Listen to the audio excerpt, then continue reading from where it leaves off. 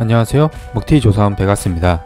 이번에 먹튀를 한 안전지대를 알려드리겠습니다. 사건이 발생한 날은 4월 3일이고 전날 저녁에 스포츠 세포를 배팅을 했었는데 적중이 돼서 환전을 신청하니까 바로 취소를 시키더니 경기 중 일부가 문제가 있다며 확인 후 처리를 해준다고 하길래 아무 말 없이 기다렸습니다. 다음날 아침에도 환전 안 해주고 기다리게 하고 문의하면 계속 똑같은 답변만 돌아오길래 끝까지 편히 봐주면서 기다렸는데 저녁에 저딴 식으로 통보하고 당첨금 몰수 원금 처리해버립니다.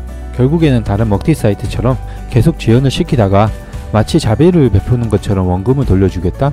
잡리그 특성상 배당이 높기도 하고 최근 경기 분석해서 베팅을 한 건데 700만원 줄 돈도 아까운지 먹튀를 해버리네요. 절대로 이용을 해서는 안 되는 쓰레기입니다. 다른 안전한 곳을 찾으셔야 하고 찾기 힘들다면 언제든지 저희에게 문의 주세요.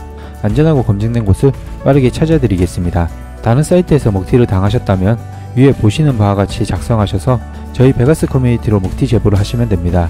제일 처음 제보를 하시는 분에게 소정의 선물을 드리고 있고 허위 제보를 한다면 영구 제재 대상이 되니 진실만을 말씀해 주시길 바랍니다. 허위 제보로 인해 잘 운영하고 있는 업체들에게 상처를 주지 마세요. 지금까지 베가스였습니다. 감사합니다.